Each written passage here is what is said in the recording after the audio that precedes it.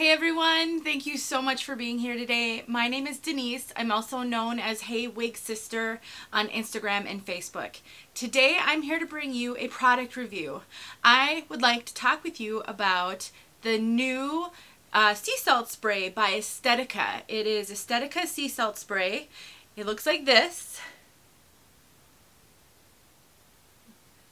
Comes in a little bottle. It's about, it's 4.2 ounce fluid ounces. So that's the size of the bottle. And it's a pretty new product. I think it came out a couple of months ago. And so I wanted to talk with you a little bit about this product and my experience with it and give you my opinion on it. I know that there are a number of other reviews out there. So please know this is just one person's viewpoint and what I think of it may not be what you think of it. And so I just like to come on here and share not only um, objective information about products, but also subjective information because I think it's really important that we are honest about how we feel about certain products as wig wearers. I happen to be someone who does a lot of reviews, but I'm also an everyday wig wearer and product user, and I have my preferences just like everyone else. So in this review, I'm not only going to talk with you about the benefits of this product, but also some of the cons that I have found personal preference wise. So let's get going on this. So this product is a sea salt spray. It is meant to be sprayed on your synthetic wigs and I think they also said it can be used on human hair which I don't have any, so I haven't tried it, but to bring some texture, to maybe get some more curl out of it, or, or more kind of a messy, beachy look. I know Estetica put a video out there showing this on multiple different kinds of wigs, including a straight wig, where it was really able to get some messy, beachy, sort of uh, crimpy look out of even a straight wig, which I'm not going to show today. I'm just going to show you on the wig I have on my head. So right now I am wearing Henry Margu Jules, and this is one of my favorite styles. I love Henry Margu Jules. I'm forgetting the color now, and so I'll have to put that in the description. It's like 82733H, I think, but I might have gotten some of those codes mixed up, so look in the description if you want to know what the color of this is. So the Jules I have on my head has been worn uh, probably five or six times. She has not been washed yet, and I have put no product in her at this point. So the only thing that I've done with this Jules, I have taken a wide tooth comb to her. I also finger comb her, and I have taken a little bit of water to her occasionally and try to scrunch her up with water. I'm going to show you what happens when you use this Estetica sea salt spray to really amp up the curl. And what it also does is it kind of coats the fibers so it gives it a little bit of texture as well. And so if you're looking for a style that maybe you can hold this might help with that as well. So what they do they recommend is you just spray it liberally. That's what they talk about. So you saw what she looked like you know not super textured not super messy. I should have maybe done a 360 first. And then you just take it and you just start spraying it all over and scrunching it up, kind of wherever you want to get some more texture, some more volume, and some more lift. And so one of the first things I'm going to tell you about this product is it works. It really does work.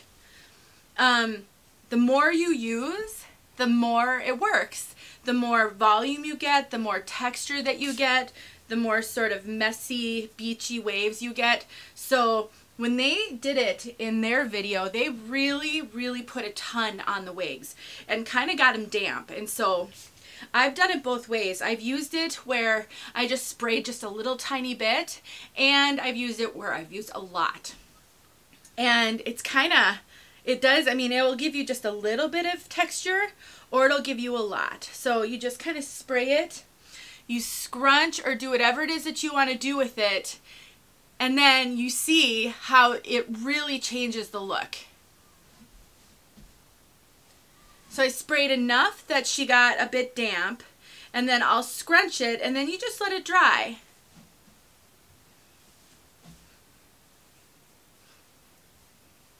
And that's all there is to it. Now, what do I think of this product? Um, first of all, for the for what it's intended to do, I love it. I think it works awesome. It absolutely gives volume, texture, beachy waves, messiness, amps up the curl. It does all of those things. So from that perspective, I'm a fan and I really, really like it. I just dropped it. I was going to quick look and see if I can see the ingredients. The ingredient list is quite long. Um, so the cons of this product. First of all, I don't like the smell of it. I know when I first saw them do their review on it, they mentioned that it has sort of a fresh scent like their other wetline products, so their shampoo and their conditioner and their conditioning spray. I don't think it smells like those things at all. I love the smell of their wet line. Their shampoo, their conditioner, and their conditioning spray smell amazing. It's, it's a fresh, light, slightly floral but not overpowering smell. I just love it. It's just this fresh, light smell, not heavily scented. This, I don't know how to describe it. It has, it doesn't have a coconut smell like some of the Beach Wave sprays have at all, but it has this sort of salty smell to it. It's not the same, and I really don't prefer this smell at all. Um, it's again, it's not overpowering. It's not super heavily scented, but it has enough of a scent that I don't really like it that much. So that's my first con of this is I don't love the smell. Um, it and it does linger a little bit. I, the smell I think does linger. I'll notice it like a little bit later in the day. I'll kind of catch a whiff of it every now and then. So I think the smell does linger. This is again one of those personal preference things. You might love the smell of this. I've actually heard a couple of reviewers say they really like the smell of this. So that's just my personal preference. I don't think it smells like the wetline products at all, which is what they said it did. The second con to this is kind of by necessity, it really coats the fibers. So um, this is kind of one of those things, if you want to get the benefit of it, then you have to take this part of the, the, the con of it. It really coats the fibers and, and kind of makes them a little sticky. Um, sticky is not really the word because it's not, it's not sticky, but I have noticed if I've used this more than once on a wig, it has this feeling, like a dirty feeling to it. Again, it's coating the fibers so that you can get the look you're trying to achieve. So you kind of don't have a choice. But my preference is to use very little product on my wigs. I just don't like them to feel coated. Even Jon Renau Peace Out Cream, which I love, and I use I use on wigs. I do love it. The con for me of that is it coats the fibers, and then later on when I go to wear the wig, you can feel that leftover residual. And so if there is a day when I don't want the style that I achieved with the product, I'm kind of stuck with that product in the wig until I wash it. Now, again, if you're using this and you're trying to achieve a certain look, then you're going to have to put up with that side of it. And so um, but I do want to tell you when I say it's sticky, it's not sticky. Like I can later on take a wide tooth comb through the hair and I can comb it out. I just can after, you know, after that I can just feel that there's something on the fibers and I do feel that this will cause me to have to wash my wigs a little more frequently but for my personal preference and how I like the fibers to feel. You may actually love how it coats your wigs. You may really appreciate the extra texture that it gives the fibers, especially in a wig that may be low permatease. So a benefit of this is if you have some wigs that don't have a lot of permatease, you might notice throughout the day that the style falls a little flat as the day goes on. I've noticed that in wigs that don't have a lot of permatease and I'll wear them for 13 hours, 10 hours. By the end of the day or even throughout the day, I feel like I'm constantly having to do this to it, you know, kind of poof it out a little bit because it doesn't have the permatease there to hold that style. Uh, so for wigs like that, this may be actually what you're looking for. Get it in there at the root a little bit to really give it uh, some of that texture that you need so that the, maybe the style will hold a little bit better throughout the day. Wigs with a lot of permatease don't tend to have that problem. The permatease really helps to hold the volume and the style.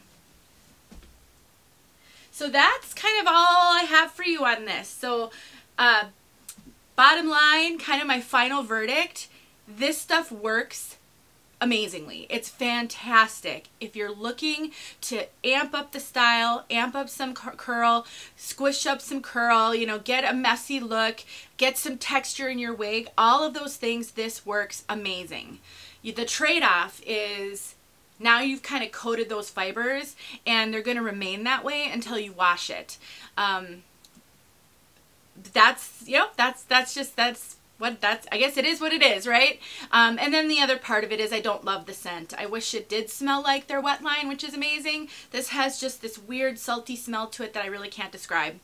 Other than that, I actually I would recommend it if you're looking for a sea salt spray that is going to do what you just saw this do, this will work great. I've not tried any other products though. I don't know if there are other products out there that will do exactly the same that may have a different scent. So this is my only experience with sea salt spray on a wig so far.